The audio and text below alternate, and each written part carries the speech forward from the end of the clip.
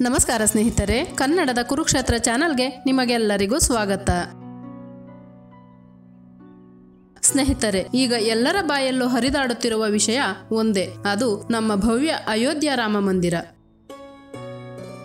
ಇನ್ನು ಕೇವಲ ಎರಡು ದಿನಗಳಲ್ಲಿ, ಅಂದರೆ ಜನವರಿ ಇಪ್ಪತ್ತೆರಡರಂದು ಅಯೋಧ್ಯೆಯಲ್ಲಿ ಶ್ರೀರಾಮ ಮೂರ್ತಿಯ ಪ್ರಾಣ ಪ್ರತಿಷ್ಠಾಪನೆಯಾಗುತ್ತಿದೆ. ನಮ್ಮ ಹಿಂದೂಗಳ ಸುಮಾರು ಐನೂರು ವರ್ಷಗಳ ಕನಸು ನನಸಾಗುತ್ತಿದೆ. ಈಗಾಗಲೇ ಈ ಮಹೋನ್ನತ ಕ್ಷಣಕ್ಕಾಗಿ ಭಾರತದಲ್ಲಿ ಹೆಸರುವಾಸಿಯಾದ ಹಲವಾರು ಗಣ್ಯರಿಗೆ ಆಹ್ವಾನವನ್ನು ಕೋರಲಾಗಿದೆ. ಇಡೀ ಪ್ರಪಂಚವ್ಯಾಪಿಯಲ್ಲಿರುವ ವಿಐಪಿಗಳು, ವಿವಿಐಪಿಗಳು ಹಾಜರಾಗುತ್ತಿದ್ದಾರೆ. ಈ ರಾಮ ಮಂದಿರದ ಉದ್ಘಾಟನೆಯು ನಮ್ಮ ಭಾರತ ದೇಶದ ಪ್ರತಿಷ್ಠಾತ್ಮಕ ಸಮಾರಂಭವಾಗಿದೆ. ಭಾರತದಲ್ಲಿ ಹೆಸರುವಾಸಿಯಾದ ಹಲವಾರು ಗಣ್ಯಾತಿ ಗಣ್ಯರು ಹಾಜರಾಗುವ ಈ ಸಮಾರಂಭಕ್ಕೆ ಉತ್ತರ ಪ್ರದೇಶದ ಹನ್ನೆರಡು ವರ್ಷದ ಬಾಲಕನೊಬ್ಬನಿಗೆ ಆಹ್ವಾನವನ್ನು ಕೊಟ್ಟಿದ್ದಾರೆ. ಹೌದು. ಅಸಲಿಗೆ ಯಾರು ಈ ಬಾಲಕ?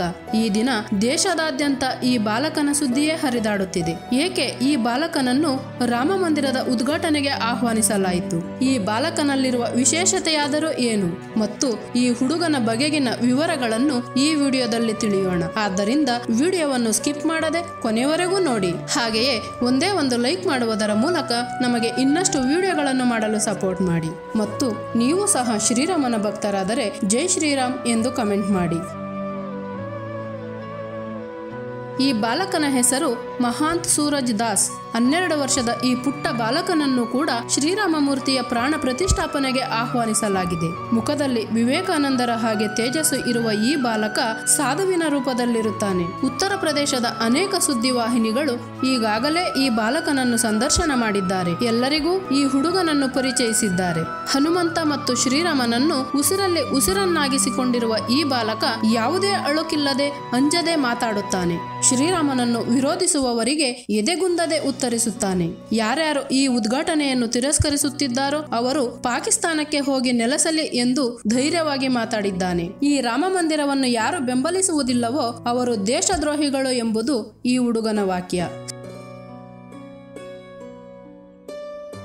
ಸ್ನೇಹಿತರೆ, ಶ್ರೀರಾಮ ಮಂದಿರ ಇದು ಶತಮಾನಗಳ ಹೋರಾಟ. ಈ ಹೋರಾಟವು ಕೊನೆಯಾಗಿ ಕೋಟ್ಯಾಂತರ ರಾಮಭಕ್ತರ ಮತ್ತು ಹಿಂದೂಗಳ ಆಶಯ ನೆರವೇರುತ್ತಿದೆ. ಇತಿಹಾಸದ ಪುಟಗಳಲ್ಲಿ ದಾಖಲಾಗುವ ಈ ಮಹೋನ್ನತ ಕ್ಷಣಕ್ಕಾಗಿ ಪ್ರತಿಯೊಬ್ಬ ಭಾರತೀಯನು ಕೂಡ ಕಾತುರದಿಂದ ಕಾಯುತ್ತಿದ್ದಾನೆ. ಇಡೀ ಭಾರತೀಯರು ಸಂಭ್ರಮಿಸುವ ಈ ಉದ್ಘಾಟನೆಯನ್ನು ವಿರೋಧಿಸುವವರು ನಮ್ಮ ಭಾರತದಲ್ಲಿರುವುದಕ್ಕೆ ಯೋಗ್ಯರಲ್ಲ ಎಂದು ಹೇಳುವ ಈ ಬಾಲಕನ ನುಡಿಗಳು ನಮ್ಮೆಲ್ಲರನ್ನೂ ತಟ್ಟಿ ಎಚ್ಚರಿಸುವಂತಿವೆ. ಸ್ನೇಹಿತರೆ, ಈ ಮಹೋನ್ನತ ಕ್ಷಣಗಳನ್ನು ಕಣ್ತುಂಬಿಕೊಳ್ಳುವುದೇ ನಮ್ಮೆಲ್ಲರ ಪುಣ್ಯ. ಇಂತಹ ಕ್ಷಣಗಳಿಗೆ ಆಹ್ವಾನ ಸಿಕ್ಕುವುದು ಅವರ ಪೂರ್ವ ಜನ್ಮದ ಪುಣ್ಯ. ಆದರೆ ಆಹ್ವಾನ ಸಿಕ್ಕರೂ ಕೂಡ ಬರದೇ ಇರುವುದು ಅವರ ದೌರ್ಭಾಗ್ಯವೆಂದು ಹೇಳಬಹುದು. ಉತ್ತರ ಪ್ರದೇಶದ ಹನುಮಾನ್ ಗಡಿ ಎಂಬ ಪ್ರದೇಶದ ನಿವಾಸಿಯಾದ ಈ ಬಾಲಕನನ್ನು ಸೂರಜ್ ದಾಸ್ ಜಿ ಅಥವಾ ಮಹಾಂತ್ ದಾಸ್ ಜಿ ಎಂತಲೂ ಅಲ್ಲಿನ ಜನರು ಕರೆಯುತ್ತಾರೆ. ಈ ಬಾಲಕನು ಶ್ರೀರಾಮ ಹಾಗೂ ಹನುಮಂತನ ಪರಮ ಭಕ್ತ ಕಳೆದ ಆರು ವರ್ಷಗಳಿಂದಲೂ ಕೂಡ ಹನುಮಾನ್ ಗಡಿಯಲ್ಲಿರುವ ವೀರ ಹನುಮಾನನ ಸೇವೆಯಲ್ಲಿ ನಿರತನಾಗಿದ್ದಾನೆ. ಈ ಬಾಲಕನನ್ನು ಸ್ಥಳೀಯರು ಬಾಲಯೋಗಿ ಅಂತಲೂ ಕರೆಯುತ್ತಾರೆ. ಸ್ನೇಹಿತರೆ, ನಮ್ಮ ಭಾರತದ ಮಣ್ಣಿನ ಮಹಿಮೆಯೇ ಅಂತಹದ್ದು. ಈ ಮಣ್ಣಿನ ಕಣ ಕಣದಲ್ಲೂ ಧಾರ್ಮಿಕ ಪರಂಪರೆಯೂ ಅಡಗಿದೆ.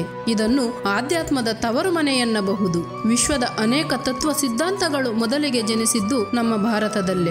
ಭಕ್ತ ಮಾರ್ಕಂಡೇಯ ಮತ್ತು ಭಕ್ತ ಪ್ರಹ್ಲಾದ ಮುಂತಾದ ಬಾಲ ದೈವ ಭಕ್ತರು ಜನಿಸಿದಂತಹ ಪುಣ್ಯಭೂಮಿ ನಮ್ಮದು. ನಮ್ಮ ಭಾರತವು ಹಲವಾರು ಜನ ಯೋಗಿಗಳನ್ನು ಸಿದ್ಧರನ್ನು ಸಾಧು ಸಂತರನ್ನು ಕೂಡ ಇಲ್ಲಿಯವರೆಗೂ ಕಂಡಿದೆ. ಸ್ನೇಹಿತರೆ, ಇಂದಿನ ಈ ರಾಮಭಕ್ತ ಸೂರಜ್ ದಾಸ್ ಶತಮಾನಗಳ ಹಿಂದಿನ ವಿವೇಕಾನಂದರನ್ನು ನೆನಪಿಸುವ ಹಾಗೆ ಮಾಡುತ್ತಿದ್ದಾನೆ. ರಾಮಾಯಣವನ್ನು ಸಂಪೂರ್ಣವಾಗಿ ಅರ್ಥೈಸಿಕೊಂಡಿದ್ದಾನೆ. ಹನುಮಂತನ ಪರಮ ಭಕ್ತನಾದ ಈ ಬಾಲಕ ತಾನೂ ಕೂಡ ಹನುಮಂತನ ಹಾಗೆ ಬ್ರಹ್ಮಚರ್ಯವನ್ನು ಪಾಲಿಸುತ್ತಾ ತನ್ನ ಜೀವನವಿಡೀ ಹನುಮಂತನ ಮತ್ತು ಶ್ರೀರಾಮನ ಸೇವೆಯಲ್ಲಿಯೇ ಕಳೆಯುತ್ತೇನೆ ಎಂದು ಹೇಳುತ್ತಾನೆ. ಇದಕ್ಕೆ ನಮ್ಮ ಕುಟುಂಬದವರ ಸಂಪೂರ್ಣ ಸಹಕಾರವಿದೆ ಎಂದು ವಿವರಿಸುತ್ತಾನೆ. ಅಯೋಧ್ಯೆಯಿಂದ ಕೇವಲ ಎರಡು ಕಿಲೋಮೀಟರ್ ದೂರದಲ್ಲಿ ವಾಸವಾಗಿರುವ ಈ ಬಾಲಕನ ತಂದೆ ತಾಯಿಗಳಿಗೆ ಒಟ್ಟು ಏಳು ಜನ ಮಕ್ಕಳು. ಕಿರಿಯನಾದ ಈ ಸೂರಜ್ ದಾಸನ ವಯಸ್ಸು ಹನ್ನೆರಡು ವರ್ಷ. ಈ ಸೂರಜ್ ದಾಸ್ನ ಅಣ್ಣಂದಿರು ಮತ್ತು ಅಕ್ಕಂದಿರು ಈಗಾಗಲೇ ಮದುವೆಯಾಗಿ ಸಾಂಸಾರಿಕ ಜೀವನ ನಡೆಸುತ್ತಿದ್ದಾರೆ. ಈ ಸೂರಜ್ಗೆ ತನ್ನ ಆಡುವ ವಯಸ್ಸಲ್ಲೇ ಇಷ್ಟೊಂದು ಧಾರ್ಮಿಕ ಆಸಕ್ತಿ ಮತ್ತು ಪ್ರಬುದ್ಧತೆ ಇರುವುದು ನಿಜಕ್ಕೂ ಅಚ್ಚರಿಯ ಸಂಗತಿ. ಇಂತಹ ಮಗನನ್ನು ಪಡೆದ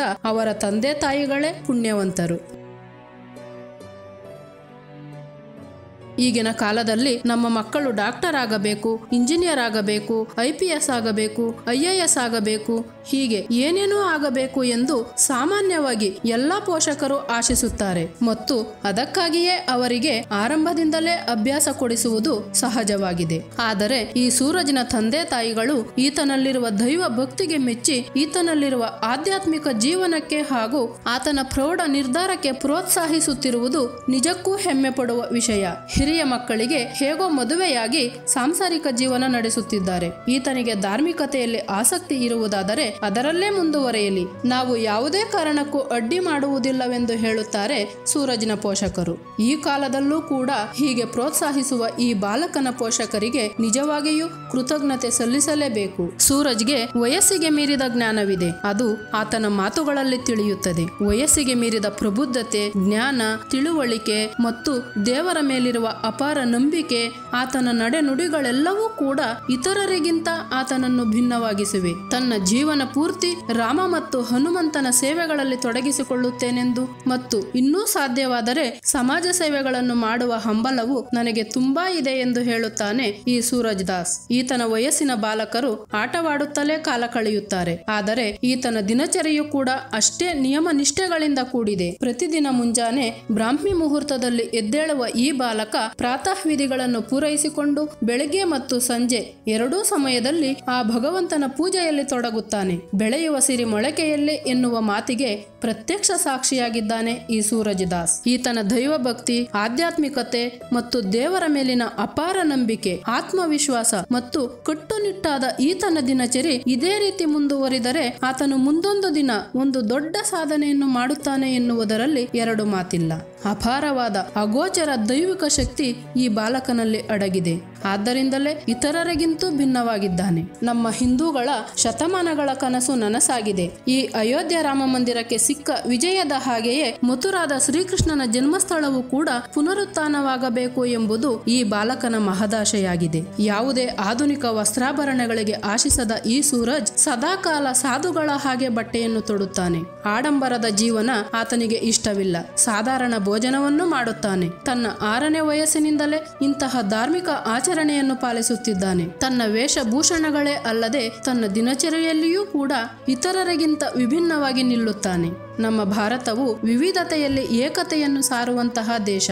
ಇಂದು ರಾಮನನ್ನು ಆರಾಧಿಸುವ ಅದೆಷ್ಟೋ ಜನ ಮುಸ್ಲಿಂ ಬಾಂಧವರು ಇದ್ದಾರೆ. ಅವರೆಲ್ಲರೂ ಕೂಡ ರಾಮ ಜನ್ಮಭೂಮಿಯನ್ನು ಬೆಂಬಲಿಸುತ್ತಲೂ ಇದ್ದಾರೆ. ಈ ವಿಷಯದಲ್ಲಿ ಶ್ರೀರಾಮನಿಗೂ ಸಹ ಭೇದವಿಲ್ಲ. ಅಖಂಡ ಹಿಂದೂ ರಾಷ್ಟ್ರದ ಸ್ಥಾಪನೆಯೇ ನನ್ನ ಗುರಿ ಎಂದು ಆತ್ಮವಿಶ್ವಾಸದಿಂದ ಹೇಳುತ್ತಿರುವ ಈ ಮಹಾಂತ ಸೂರಜ್ ದಾಸ್ಗೆ ಅಧಿಕೃತವಾಗಿ ಶ್ರೀರಾಮ ಮಂದಿರದ ಉದ್ಘಾಟನೆಗೆ ಆಹ್ವಾನವೂ ಸಿಕ್ಕಿದೆ. ಜನವರಿ ಇಪ್ಪತ್ತೆರಡರಂದು ಈ ಮಹೋನ್ನತ ಕ್ಷಣಗಳನ್ನು ಕಣ್ತುಂಬಿಕೊಳ್ಳಲು ಸೂರಜ್ ಕಾತುರದಿಂದ ಕಾಯುತ್ತಿದ್ದಾನೆ.